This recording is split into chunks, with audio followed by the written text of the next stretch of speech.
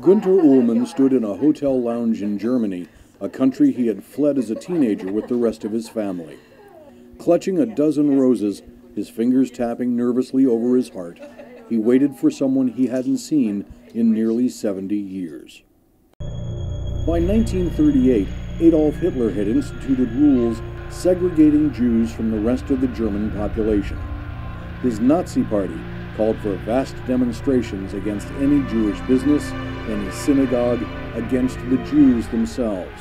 Those who had stood in the streets and hailed their leader now marched in the streets, looting and burning Jewish stores and homes, demanding to know from landlords Are there Jews here? The smashed windows gave that night its name Kristallnacht.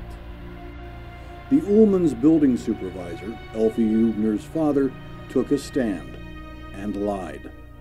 One thing I should uh, emphasize is uh, that our family uh, very often talked about the way uh, that uh, El El Elfie's father may have saved our lives.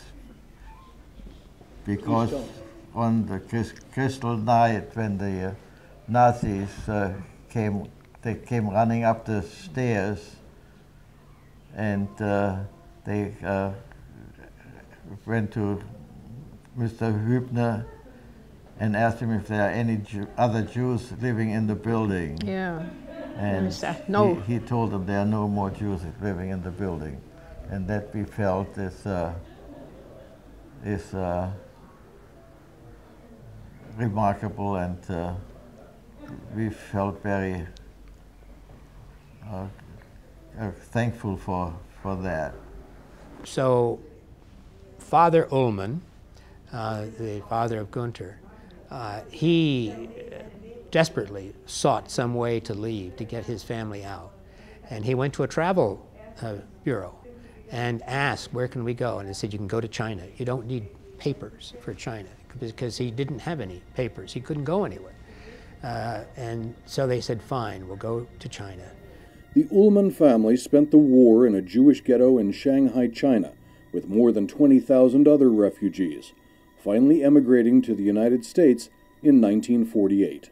Very good friends. Ullmanns, with my family together. It was so wonderful to live together in Mannheim.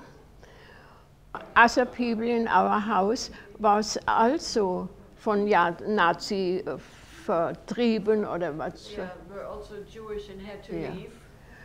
And the other people write to us. We are in Paris, we are in Schweiz, und not Ullmanns nix. No word from the Ullmann. Ja, no word von Ullmann.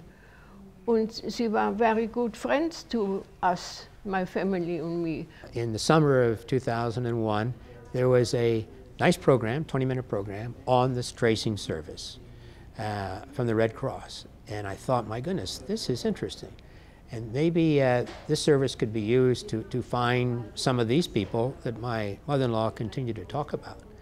And so I got a form, filled it out, and in fact I have the form here, and uh, had put the data in for the Ullmann family and submitted it. In October of 2008, we're talking seven years plus later, get an email from the folks in San Francisco, Red Cross in San Francisco.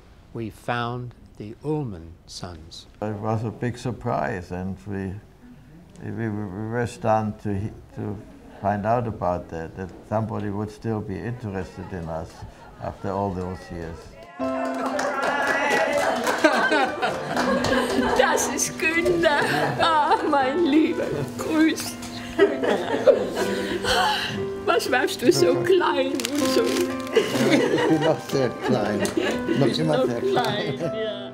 It, uh, it was overwhelming the, the memories and uh, and uh, what each of us went through and uh, the, the, whole whole life that uh, we shared away from each other and I mean did not share, lived away from each other and uh, we have have enough in common so we can share our stories, which we are doing now for the next 10 days. And I certainly hope that uh, it, uh, it doesn't end with the 10 days, that it keeps on going for probably, ho hopefully for the following generations also. Das ist hier und ist doch wunderbar. Yeah. And I can only thank the Red Cross for what they did. They didn't give up, obviously. long story. yeah. It's another story. It's a long story. Okay.